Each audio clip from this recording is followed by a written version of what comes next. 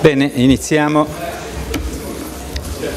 Prendo la parola in qualità di Presidente della Fondazione Ugo La Malfa per ringraziare innanzitutto la Camera dei Deputati per la ospitalità che ci rinnova e che è un, di per sé stesso un prezioso messaggio di ricordo per il nostro amico, grande scienziato Felice Ippolito, con la cui famiglia, qui autorevolmente rappresentata, noi organizziamo questi incontri, questo come voi sapete è il quarto, quindi ringrazio tutti i partecipanti e per farla breve perché non siete certo venuti per sentirmi parlare, do la parola a Giorgio Lamalfa che introdurrà lo speech e la lezione che Lord Desmond Brown of Ladyton ci darà questa sera, questo pomeriggio. Giorgio. Grazie Paolo. A me fa molto piacere dare il benvenuto a, a, a Desmond Brown, Lord Desmond Brown of Lediton. Eh, sua, voi nell'invito avete avuto la, i dati essenziali della biografia.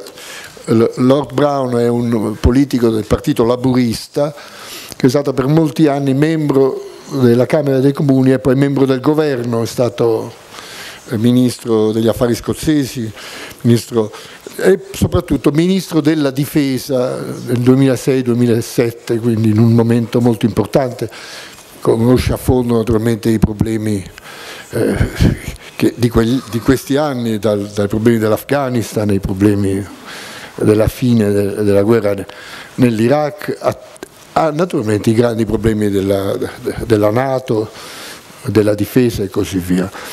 Um, Lord Brown è divenuto Lord eh, da poco tempo, al fine del, del, periodo nella Camera dei Comuni è stato nominato eh, membro della Camera dei Lord inglese.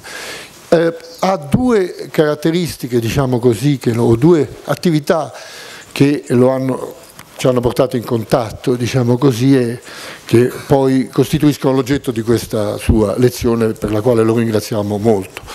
Egli è il eh, coordinatore, in inglese si dice convener, è il coordinatore di un gruppo molto importante, autorevole, bipartisan inglese, che comprende gli ex ministri della difesa degli esteri, gli ex segretari generali della Nato inglesi come Lord Robertson e ehm, alti gradi militari che si occupa, questo gruppo bipartisan si occupa delle, di questioni eh, che riguardano i problemi della difesa e particolare, con particolare riferimento al tema delle armi nucleari. Sono uomini, naturalmente l'Inghilterra è un paese che ha armamento nucleare, quindi sono persone che conoscono questa problematica anche dall'interno, la problematica di questo tipo di armamenti, ma sono, eh, è un gruppo di persone che è interessata al problema del disarmo nucleare ed è su questo del disarmo nucleare su base multilaterale è su questo terreno che noi ci siamo incontrati. Eh, come i presenti che sono quasi tutti esperti di questioni come quelle di cui noi ci occupiamo stasera, ricordano che eh, per, per uno scritto di quattro eminenti statisti americani, Kissinger, Schulz, Perry e Nunn, due democratici e due repubblicani, con uno scritto alla fine del 2007 sul Wall Street Journal, questi quattro eminenti firmarono un articolo congiunto nel quale eh, scrissero che il, il, rischio costituito dalle armi nucleari, dalla loro presenza, dalla loro diffusione e dalla loro esistenza era un rischio che l'umanità non poteva non affrontare. E essi proponevano apertamente eh, quella che si chiama poi si è chiamata l'opzione zero, cioè l'eliminazione radicale e totale delle armi nucleari venendo detto da uomini che non, erano, non provenivano diciamo così, dal mondo pacifista, per così dire, ma provenivano da uomini che avevano avuto la responsabilità della politica estera e della difesa degli Stati Uniti, questa dichiarazione ebbe una notevole importanza e risonanza trasformò la questione dell'eliminazione delle armi nucleari da un sogno lontano in un problema politico eh, importante. A seguito di quella, di quella presa di posizione dei quattro eminenti statisti americani, in una serie di altri paesi, per prima l'Inghilterra, e per seconda mi fa piacere dire l'Italia, gruppi di esponenti politici con, che avevano avuto responsabilità di governo, normalmente anche in questo caso su base bipartisan, pubblicarono articoli nei quali si associavano a questa impostazione di fondo che Kissinger, Schulz e gli altri avevano dato.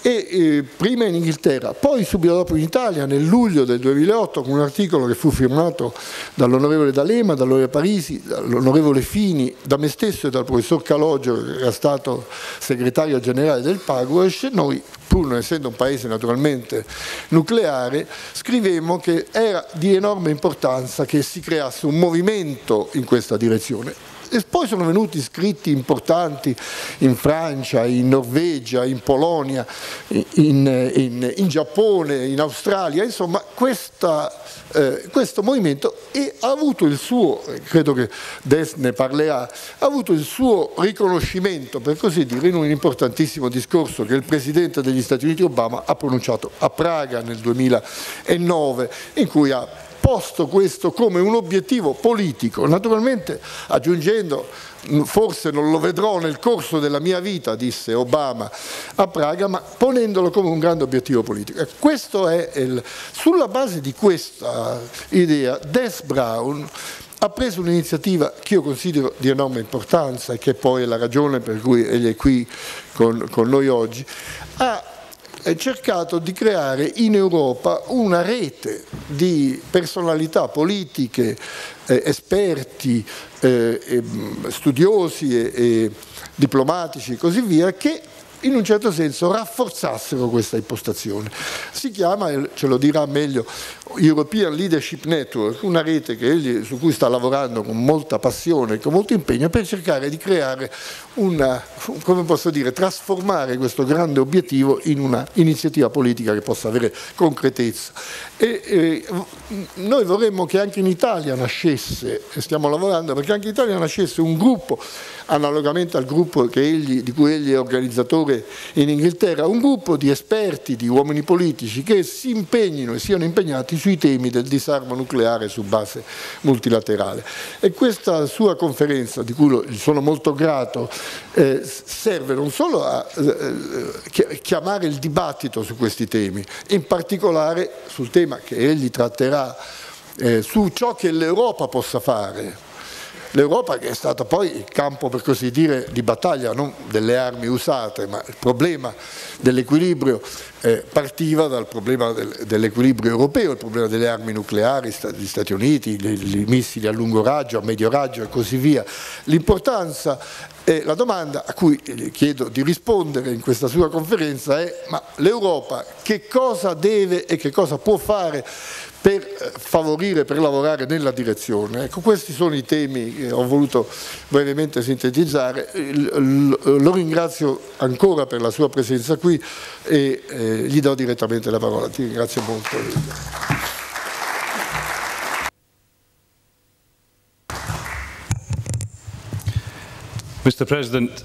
Signor Presidente, eminenti ospiti, signore e signori, in primo luogo molte grazie al mio amico Giorgio Lamalfa per queste gentili parole di presentazione e ringrazio anche la Fondazione Ugo Lamalfa per avermi invitato, per avermi dato la possibilità di eh, presentare la lezione per il Cipolito per quest'anno e grazie anche per permettermi di parlare nella mia lingua. Se dovessi parlare in italiano purtroppo eh, non sarebbe possibile per me farmi capire. Quindi uh, grazie per tollerare questo scozzese che parla in inglese. Questa è una possibilità di parlare con voi di quello che ritengo essere uno dei problemi più importanti che abbiamo di fronte. Quando dico eh, abbiamo di fronte intendo il mondo, eh, poteri, le potenze nucleari e credo che c'è bisogno di un contributo europeo per risolvere questi problemi. Chiaramente sarà un piacere per me rispondere ad eventuali domande dopo i miei commenti e voglio anche sottolineare che sono qui anche per imparare qual è il punto di vista italiano su queste questioni, non solo per presentare il mio punto di vista.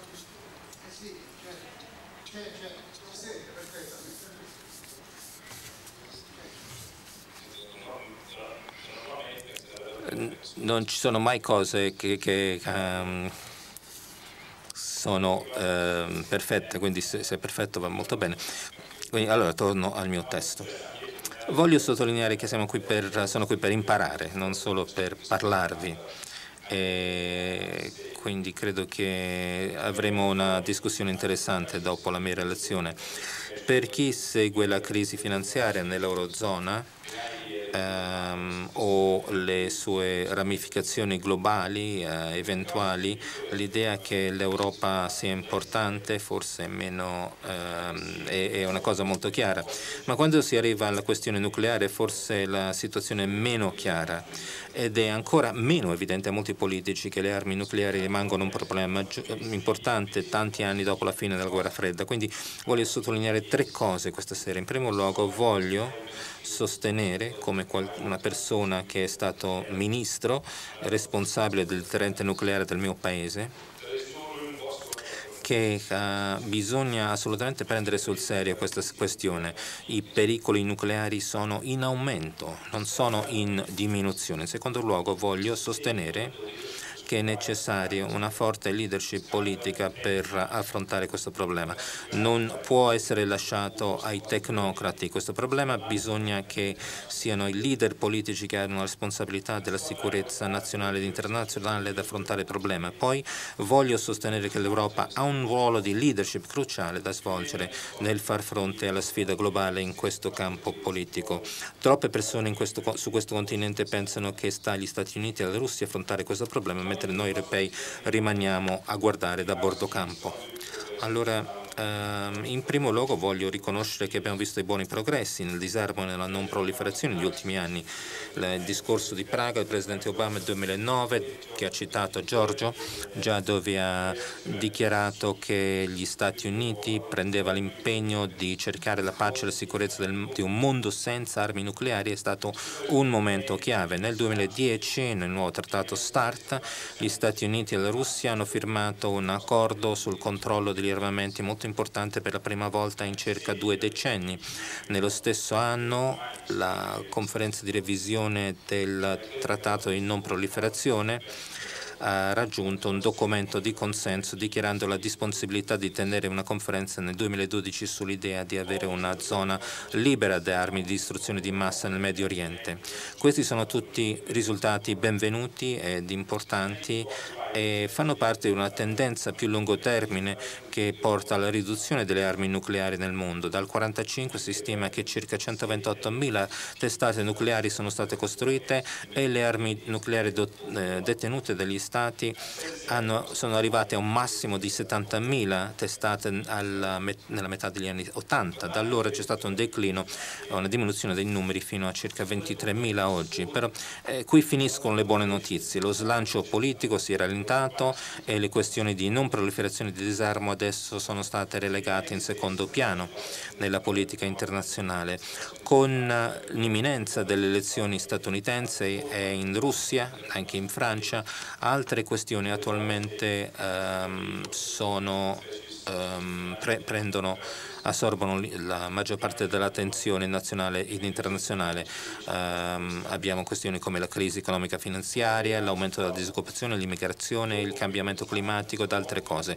Per complicare ulteriormente le cose, il disarmo nucleare globale è un progetto a lungo termine che richiede uno sforzo continuo su un periodo molto più lungo che non è eh, di uh, una o due legislature e quindi i benefici politici a breve termine non sono facilmente percepibili. E molti eh, politici preferiscono eh, dare come risultati eh, scontati le riduzioni delle armi nucleari anni recenti e pensare comportarsi come se non ci fosse problema nucleare. Questo non è vero. Il numero ridotto di armi nucleari nel mondo eh, nasconde solo il fatto che il numero di stati eh, con armi nucleari è aumentato e le armi nucleari adesso sono presenti in alcune delle regioni più instabili del mondo. Mi riferisco chiaramente al Medio Oriente, all'Asia nord-orientale, all'Asia meridionale, eh, che sono tutti punti in cui ci sono potenzialità di conflitti. Um, inoltre l'ammodernamento a lungo termine delle forze nucleari eh, è una cosa in corso nel, in quasi tutti gli stati dotati di armi nucleari. La Russia e gli Stati Uniti hanno confermato il loro impegno per conservare una triade di forze terrestri, nucleari terrestri, navali ed aeree nel lungo termine. La Cina, l'India e Israele stanno cercando di costruire le proprie triadi. Nel caso della Cina e dell'India ci sono dei programmi miss, di missili balistici molto significativi che sono in corso in Israele. Abbiamo eh, l'ammodernamento della flotta di eh, sommergibili a capacità nucleare e per, che sembra profilare la possibilità di un missile balistico intercontinentale in futuro. La Francia ha appena completato l'ammodernamento della flotta di sommergibili con, dotati di, di capacità missilistica balistica e nel mio paese ci sono paesi di modernizzare la forza di sommergibili nucleari con una nuova generazione di sommergibili e missili che dovrebbe durare fino al 2040 e oltre. Centinaia di miliardi di dollari dollari, forse più di mille miliardi di dollari sono stati destinati alle um, spese in questo campo per il prossimo decennio. Allo stesso tempo negoziati con l'Iran e la Corea del Nord per uh, far sì che questi paesi rispettino loro, i loro obblighi in base al trattato di non proliferazione sono in fase di stallo. Il problema eh, che affrontiamo è un problema molto eh, radicato e um, nonostante il fatto che si parli molto della necessità di lavorare insieme per, per, affrontare le sfide della globalizzazione, vediamo che abbiamo ancora una mentalità all'antica improntata alla deterrenza, in alcuni casi alla corsa agli armamenti. La Cina considera il suo programma come scudo contro gli Stati Uniti e l'India, il programma dell'India è una salvaguardia contro il Pakistan e la Cina. Nucleari, eh, l'ammodernamento delle armi nucleari francesi è stato giustificato dall'aumento eh, del numero delle armi nucleari che sono tenute in riserva altrove nel mondo nel Regno Unito si considera che queste armi siano una politica di sicurezza nazionale in un mondo incerto. In queste circostanze vorrei eh, dire che il problema nucleare, pensare che il problema nucleare sia sotto controllo pecca di noncuranza, nella migliore delle ipotesi, e di ottusità nelle, nella peggiore delle, delle, ipotesi. È anche arrogante pensare che nel modo che ho descritto la stabilità di una contrapposizione nucleare, come si è avuto nella guerra fredda di tipo bipolare, possa essere ripetuta con sicurezza. Non è possibile. Con uh, l'aumento del numero degli stati con armi nucleari uh, in regioni molto instabili, la deterrenza nucleare diventa molto meno affidabile molto più rischiosa. Se non affrontiamo questo problema nel futuro non troppo lontano, qualcuno utilizzerà le armi nucleari con conseguenze catastrofiche. E questo mi porta al secondo punto, cioè la necessità di una leadership politica. Prima di procedere vorrei riconoscere, rendere, eh, riconoscere i meriti degli apparati di sicurezza e militari perché svolgono un lavoro preziosissimo nel risolvere le sfide, quindi abbiamo un debito di gratitudine nei confronti del personale diplomatico e militare, sia attuale che passato. Le istituzioni di sicurezza militari se possono però um, possono rimanere bloccate in vecchi schemi, in vecchie mentalità. È importante invece contestare questi apparati di sicurezza. È difficile, a volte i eh, politici possono sentirsi schiacciati eh, dalle eh, conoscenze tecniche degli esperti però eh, bisogna in qualche modo affrontare queste questioni tecniche e accettare soltanto un parere tecnico che comunque difende lo status quo in genere e non fa nulla di più non ci porta da nessuna parte.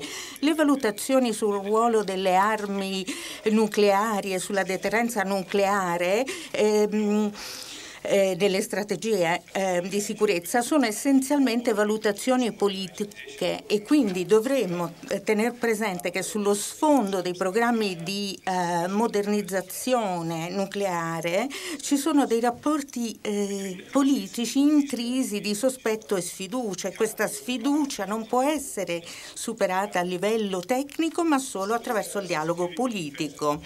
I funzionari pubblici e gli operatori della sicurezza non hanno un mandato per negoziare dei cambiamenti controversi per conto de delle nazioni, solo i politici lo possono fare. Quindi se vogliamo affrontare questo pericolo, l'impegno e la leadership politica è essenziale.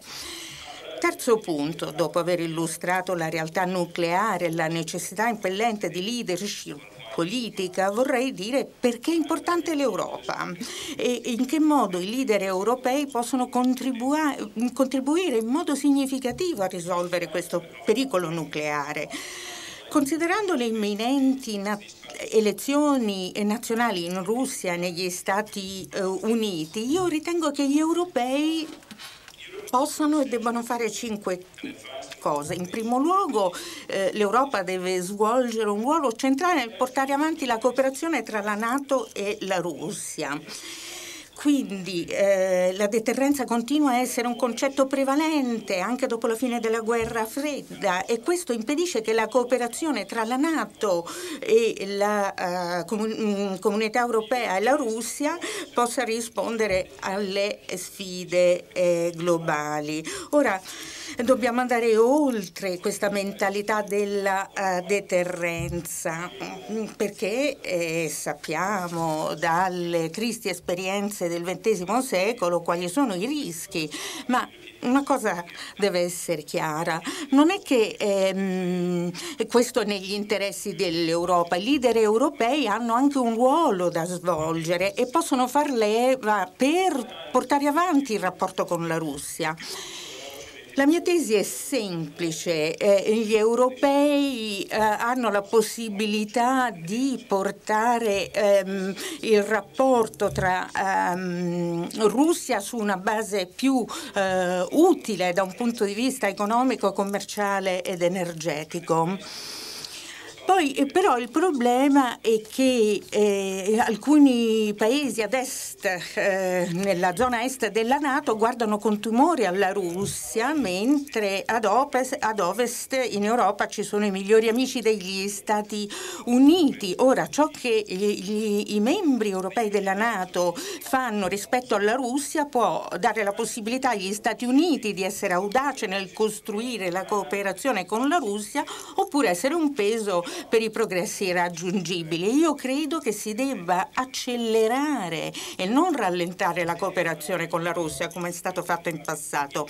In secondo luogo, i paesi europei si devono impegnare davvero per eh, portare avanti le consultazioni sul riesame della posizione di difesa e deterrenza della Nato e questa revisione può eh, essere una base anche per anni a venire. Io ritengo che eh, eh, queste armi non strategiche ehm, eh, nucleari in Europa non hanno più il ruolo di una volta di essere il deterrente contro la superiorità convenzionale in Unione Sovietica.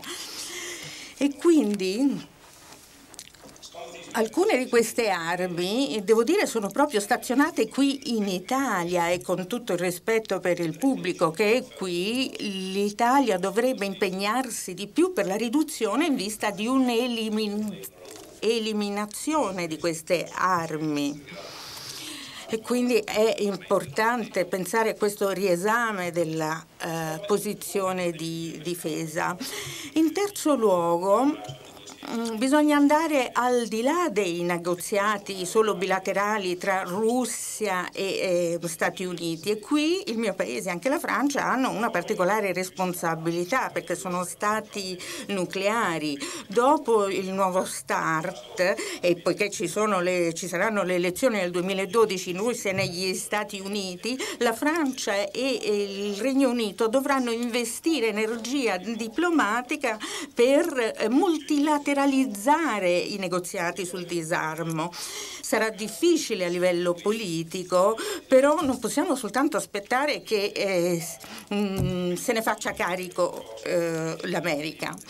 Il, eh, I P5 hanno iniziato delle trattative regolari, ma io credo che si debba arrivare a un dialogo veramente serio sul disarmo e ci sono degli ostacoli con dei dettagli da uh, superare. E questo è il contributo che possono dare il Regno Unito e la Francia. Quarto punto, dobbiamo individuare sistematicamente, valutare, migliorare il contributo di non proliferazione e di disarmo di una serie di istituzioni europee, da governi nazionali alle istituzioni dell'UE, all'industria nucleare europea. Io non credo che nessuno oggi abbia un quadro chiaro quel, del contributo europeo senza questo eh, chiaro quadro, non possiamo alzare la posta in gioco e migliorare il nostro contributo. Alcune istituzioni sono collocate bene per promuovere il disarmo e altre invece per rafforzare la non proliferazione, invece altre danno un sostegno finanziario, umano e tecnico eh, ad altri nel sostegno di iniziative come la risoluzione 1540, 1540 dell'ONU. Altre invece possono creare, attuare attuare regimi giuridici che possono rendere più eh, difficile il traffico di materiali nucleari, ad esempio inasprire le sanzioni per chi viola eh, il, il regime. Ora, in Europa dobbiamo farci un esame di coscienza. Si fa abbastanza? L'Unione Europea sta, un, sta, svolgendo un ruolo costruttivo? Si può fare di più? Quindi sono questi interrogativi che insieme mm, ad altri amici e anche a Giorgio Lamalfa ho creato questa struttura, eh, l'ELN, un'organizzazione, eh, questa European Leadership Network che vanta 80 personalità eh, di varia colorazione politica da vari paesi europei, anche dalla Russia, e anche leader russi e turchi.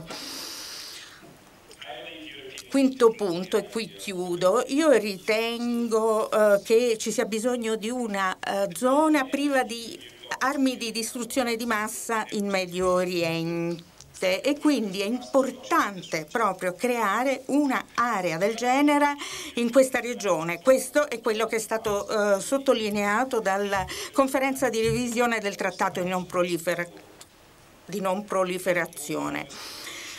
Quindi ehm, eh, ci sarà anche una conferenza che sarà eh, organizzata dalla Finlandia e sarà eh, seguita da vari stati medio orientali e qui ci sarà la possibilità di realizzare dei eh, progressi. Quindi l'Europa deve svolgere un ruolo centrale e, e come ho detto ha già svolto un seminario nel luglio di quest'anno.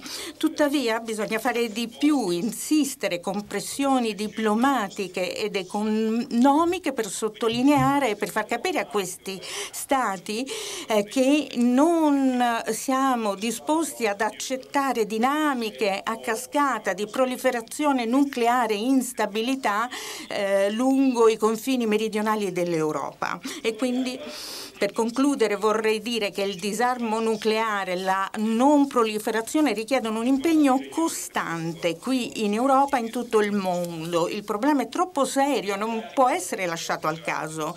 Quindi bisognerà affrontare questa sfida in tutti i settori che ho indicato. Ho detto quindi che l'Europa ha un ruolo di leadership da svolgere. Troppi pensano che spetti alla Russia e agli Stati Uniti intervenire mentre noi rimaniamo in panchina a guardare, ma soltanto così questo sogno di condiviso di eliminare le armi nucleari sarà possibile.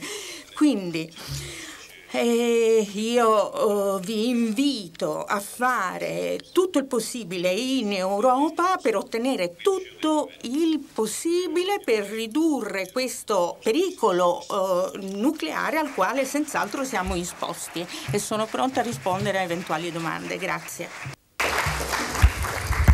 Grazie, grazie. I problemi sollevati sono tanti. Eh, il nostro oratore è disposto a rispondere alcuni, ad alcune domande. Chi desidera prendere la parola si prenoti e saremo grati se nel prendere la parola, anche se molti di voi sono da non conosciuti, dica il nome perché registrando gli interventi siamo in grado poi di portare a un'udienza più ampia eh, eh, i risultati di questo nostro incontro. Prego. Domenico Rinelli. L'intento eh, di, di, Lord Brown è nobile, ma come fare a eh, convincere i paesi in via di sviluppo che spesso possono impostare delle guerre ideologiche, Iran, per esempio Iran, e qui mi fermo, ma ce ne saranno altri,